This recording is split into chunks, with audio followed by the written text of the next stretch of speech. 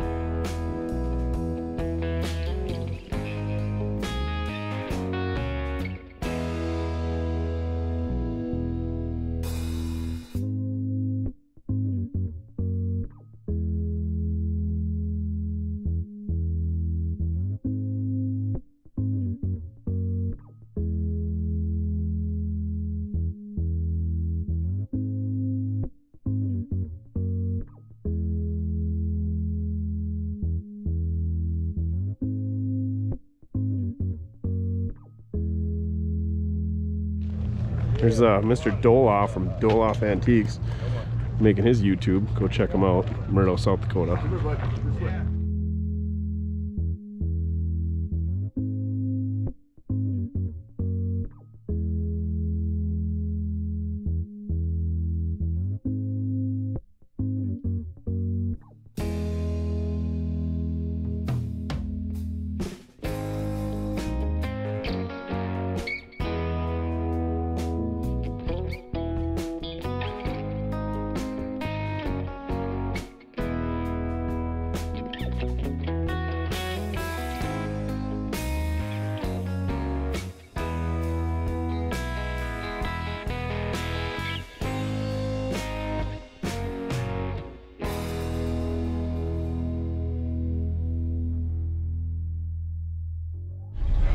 Sneak in and round up all the stuff we bought. Couldn't bring Duff with because you read it right there. No pets. Ooh, work trucks. Oh, I ruined it. It's lowered. You can't haul anything. Look at all the wheels and tires in that thing. All right, let's go uh, look at the, ugh, the, the car shows. What the French late models. I got the Cavalier, the side pipes, and a hood scoop. Custom graphics. Ooh. Mopar Challenger RT. I think what are these E bodies? Something like that. A bodies. I don't know. I want one.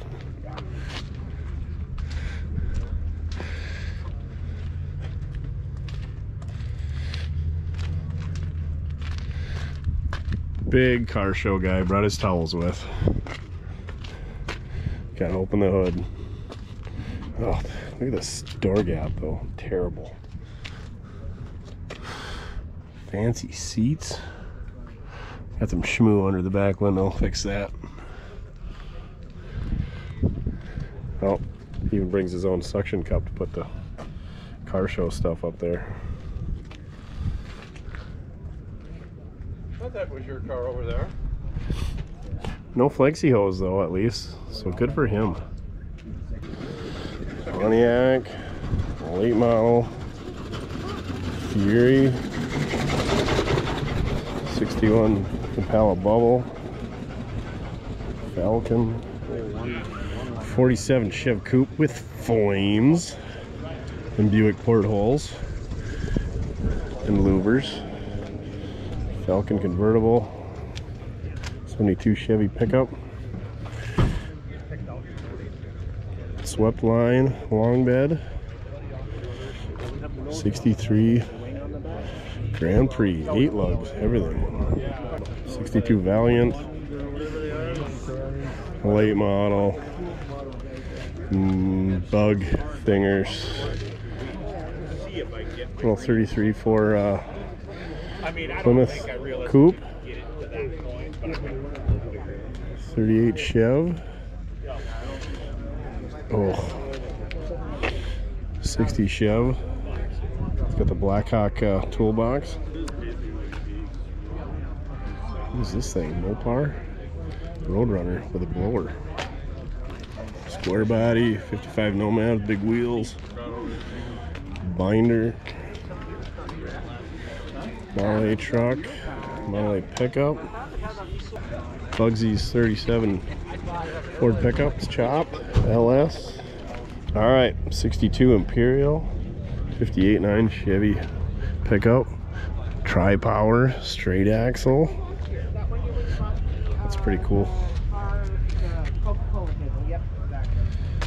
Harvey Motors Walhalla. All the bugs. 56 Ford pickup. I'm gonna have one of those someday. Someday. Vet. Nice little 32.5 window. Crew cab, rat rod, Dodge Thinger, big block, 71 El Camino. Nice little 39 Chev two door for sale. There's that 62 bubble.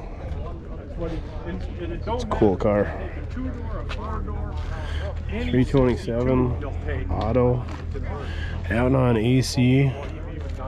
67 Camaro, Craigers, the Waylanders. Advanced Design GMC, Lincoln Continental, 58 Chev two-door post, 51 Chev uh, Tour Sedan. 73 Torino? Nope, 72.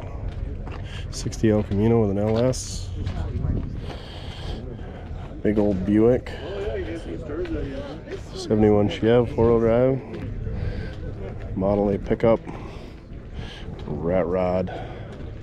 T-Bird. Oh, and then there's this T-Bird. I'll just leave it at that. Vet. Little fridge tow truck. 59 apparently. It's got kind of a neat bed on it. Oh, yeah. Hopefully he uses it like Bernie. Yeah, that T-Bird is uh, something else. The white letters pretty much tell you what's going on there with the trailer wheels. 69 Roadrunner? 70 I'm getting better. I like the slots. Even the white letters are almost acceptable. Little Valiant with a V8 Buick with a nail head. A little red I'm gonna get one of those one day too. Maybe it's a knockoff.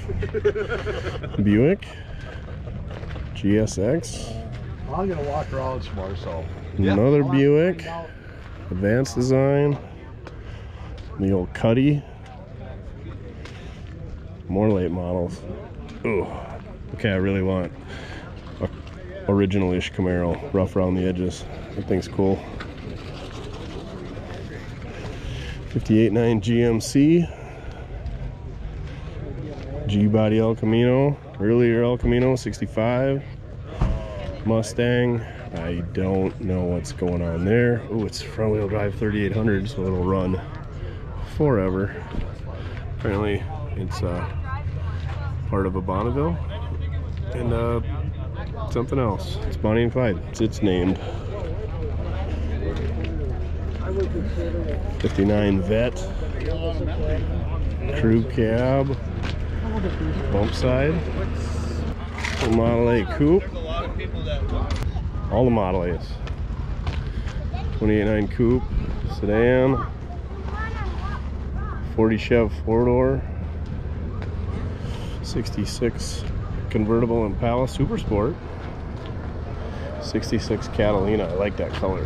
That's cool. 62 Bullet Bird, 35 Chevy four door. These things are neat. Suicide doors all the way around. Factory artillery wheels. They're giving rides in that thing today. Looks like it's a curved dash Olds replica. Maybe. No idea. Cool little square body with a service bed on it. Camaro convertible, 67. God, they're all 67s today. says it's a 59, but it's only got single headlight. Somebody must have uh, swap the clip. Here's uh, Reggie's car, Model A sedan. I think it's a Morris Minor. Mercury 64. They're neat cars, similar to a Ford, but a little bit more class. 66 Chevelle with a big block. Stude with a V8. GTO tri-power 67 66 be a four speed oh yeah four speed car. First gen chargers these things really haven't commanded the value of the second gen but cool cars nonetheless. Bucket seats all the way around consoles that run the entire length of the car and they're pretty cool V8 got a poly in it 64 Polara, first gen vet, 66 Super Sport, nice little Grand Prix. Man, all the 66 Super Sports today. This one's got a small block in her. 64 Ford. Ooh, she's an XL with a nice interior. Yeah. Little 53 Chevy Custom. Tiffany's sister on the hood. Nice gal. Needs a Mortske sticker on this thing though.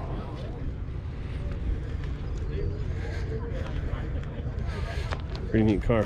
What is this? The Cutlass Salon. She's Hurst equipped. Is it? Is it really? Barn find. Four-speed manual, the Buick V6. Sure enough. Wild. You never know what you might see.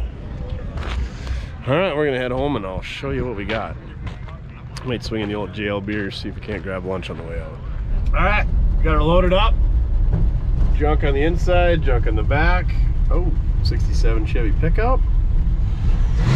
Ooh, river up. Six cylinder life. The Red River Valley Horseless Carriage Club. That's what you gotta look up if you wanna come to this thing.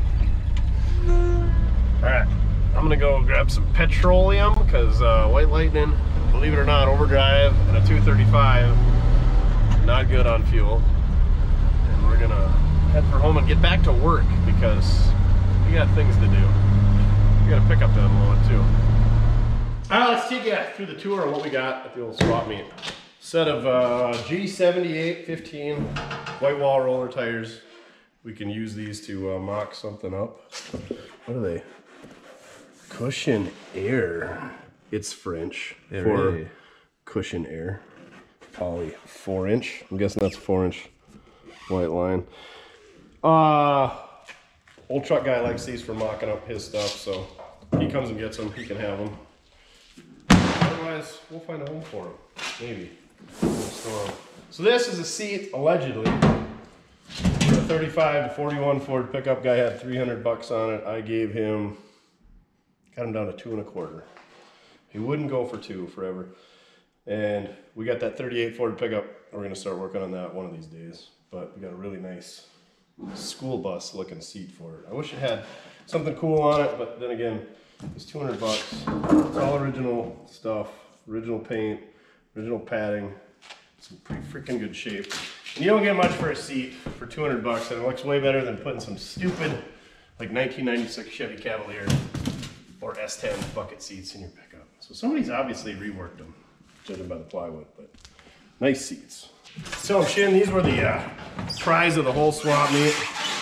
These are ET polished slots, 15 by 10. They are a Unilug, but they're in good shape. He gave us, he was really proud. Murphy was his name. I'll show you that in a minute. Mickey Thompson, Indy Profiles, had these on his 73 Z28 that he still got. License plates say Ludite. If you don't know what a Luddite is, it's somebody who refuses to acknowledge technology. So he's a carburetor and points ignition type of guy. He says it's aimed at the Tesla folks, whatever that means. So, uh, like I said, these things, I was telling Chin, they don't fit. Tens never fit anything I got, but they're just too cool looking to pass up. And they're unilugs, so they'll fit four and a half, four and three quarter, and five inch. See if can show you what's going on. So right here, so he uh, he put his name in the back, Murphy, and his social security in there. Probably blur out the uh, SSN. Eh? Yeah, then he went and scratched out the social security because he felt like a. But anyway, the back lip is kind of I don't know. They didn't have a good way to mount them back in the day. They didn't have rim clamps, so it's kind of busted up there, unfortunately. But nobody will see that, and it doesn't affect the beat or the functionality. Like I said, these are ET fours, 15 by 10. America. So yeah, pretty cool wheel. I ended up giving him, uh, I think, 350 for the pair of those. So had to pony up a little bit. Oh, that one's full of juice. No extra charge for the water that came in that tire. It was blue, so it must have been like Powerade or something. It's Smurf juice. Anyway, 40 Ford wheel. I think these are like a 16 by 4. This thing is really, really nice. 15 bucks. Um, they're a good looking wheel. And to find one that isn't all rusty in there, that was a steal. Hopefully it's straight. These are like engine stands or carts or whatever to bolt your small block Chevy to. Same guy had this. And he's like, I don't know, five bucks? I'm like, yeah, absolutely. You can't buy the steel for that. It's already drilled. So what I'll probably end up doing is tying them together and then put caster wheels on them so we have carts that roll around because we're always killing small block Chevys and we can't throw them outside so we make carts. So here is a TSC, I don't know, utility box, toolbox thing. Kind of got a similar one on the other side of the rollback. So we'll put a second one on the other side because the other one's full. Guy wanted 25 bucks. Got him down to 20. I'm sure these are 200 bucks, probably or more. So another project for Mojo. Guess these guys ran these for one season. Mickey Thompson, ET Street Radial Pro, but they're 275, 60, 15. Uh, probably can't run them at the track anymore. Probably shouldn't run them on the street. Definitely won't be doing that. But they're a good mock-up tire, and I gave 75 bucks for the pair, so pretty cheap. And if we really wanted to give something a drag look. Yeah. These are the first things I bought when I walked in. These are a 15 by 8 chrome reverse. Uh, I believe they're a four and a half and four and three quarter bolt pattern. Nice thing about that dual bolt pattern, it's kind of like Unilug. You can put it on anything. Ford, Mopar. Small GM car. Uh, they're 15, so you can get some decent tires on them. But these have a, a sucky part of us. They got a crazy big offset, so you're kind of limited on applications. But first thing I saw when I walked in, guy had 50 bucks on them. I wasn't even gonna dicker at that. That was cheap. Uh, 32 Ford, three window, passenger door armrest. I don't know if you guys know anything about 32 Ford stuff, but it's stupid crazy expensive. So this is probably going down to Oklahoma at either Charlie or Slick. I gave uh, 40 bucks for that. And then a 32 Ford door latch, three window. Of course, all the stuff is different between sedans, five window coupes, roadsters, three window sedans, or three windows, three window coupes. So yeah, but 32 Ford stuff is big money, and then especially you get into three window coupes. So I figured that was a pretty good deal. I messaged those guys and they said, yeah, snag them up. We'll, we'll, we'll take care of you. Oh, here's our, our uh, lug nuts. He even gave us the, the locking lug nuts, which I've never seen one that designed before. And he failed to give us a socket. So those will probably go right in the trash. And this, I don't know if this was the deal of the day or the coolest thing I got or what have you, but I'm like, I saw that. You know what that is, Chin? It's a Nomad tailgate skin. Look at you with all of the stainless. Oh, nice. I gave a hundred bucks for it. I didn't negotiate. It seems pretty nice, and uh, I just want to be like DD Speed Shop because that guy's he's he's pretty much my hero. Only because he gets to snuggle Danny at night. But anyway, uh, Nomad tailgate, Nomad stuff's crazy. It came with all the trim. He had a hundred bucks on it, and I thought it'd be a really cool wall hanger. And once I've had my fun with it, I should be able to make some money on it. So trying to figure out what color we'll paint that. I kind of want to keep it like a 50s color, like a turquoise or something like that. Maybe- Aqua. yeah, baby blue, like a maybe like a gold. We could put some lettering on it, and then I think you can buy the Nomad insignia. There's a little bit of rust in the bottom, so we'll definitely fix that before we paint it. More goodies inside. Oh wait, there's more. But I'm not done yet. So uh, Lake Avenue South. These came from Detroit Lakes. I had ten bucks a piece on these. These things I'm guessing are probably from the 30s, maybe the 40s. Uh, we got Lake Avenue South, and then we got Summit Avenue. I actually got two of them. I know somebody named Summit, so we'll send one to them. And I don't know why I bought two, only because they were cheap. Summit Racing, maybe? Cool. I don't know. Check out these bad boys. They're super rough shape, but I've always wanted a set of anodized aluminum Moroso valve covers. They are absolutely trashed. I don't know if you can polish them out to look anodized again, and it looks like this engine was rolled over, but we'll just, we'll just display them that way, backwards. I don't know how you could bend up a valve cover so bad, but Race these car. things were the the hot ticket in like 87 to 93. And then Chin was born and they weren't cool anymore. But they're cool again. And then another guy I know had this for sale. Uh, he had a hundred bucks on it. I knew the guy, so I didn't I didn't dicker with him. My grandpa's a standard oil dealer, so I've been snagging up standard oil stuff. This isn't a high dollar sign, but should clean up pretty good. We'll get her hung up on the wall. Would that have been on a pump or what would that have been on? That's probably on the side of a building. And then there is. Yeah, or maybe it even stuck hung off. I bet it did hang off the side. How it's got that contour there, but it doesn't on any of the other corners. Would it had like the prices on it or something? The way it was boxed off. I have no idea. I've never seen one. Neat.